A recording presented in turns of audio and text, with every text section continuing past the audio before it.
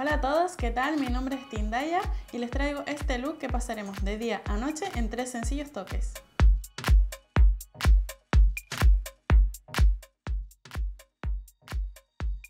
Para que se asiente la base vamos a aplicar ahora el corrector.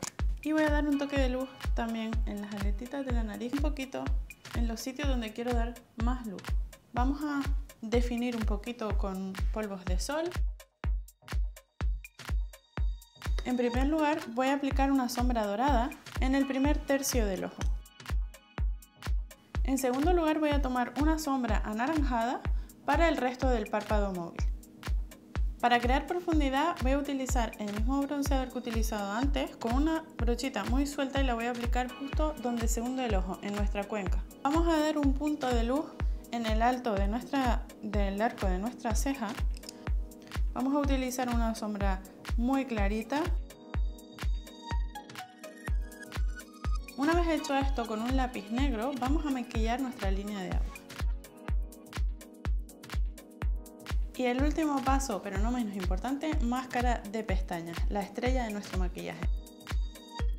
Con esta segunda máscara lo que haremos será abrir mucho más nuestra mirada. Llega ahora el turno de los labios. Y como no, vamos a elegir un rostro. Yo he elegido este de aquí, que es el de Jennifer López. Y así quedaría nuestro maquillaje de día.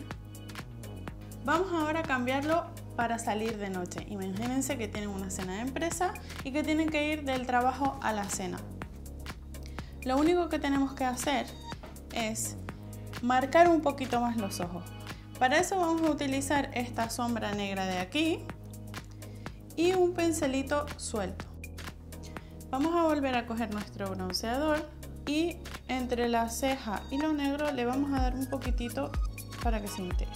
Para darle un toque más nocturno vamos a utilizar un super eyeliner negro. No le tengan miedo a este paso. Vamos a darle el último toque para que sea un look nocturno y elegante. Con nuestro perfilador negro vamos a darle un toquecito al final de los labios. Y lo repasaremos con nuestro labial y nos dará un color borgoña. Y si no queremos matar el mate del labial con un gloss, cogeremos nuestra sombra dorada y le daremos un toquecito en el centro. Y como gran toque final, con el mismo labial lo limpiamos un poquito y vamos a dar un toquecito en la mejilla, solo un toque, ¿vale?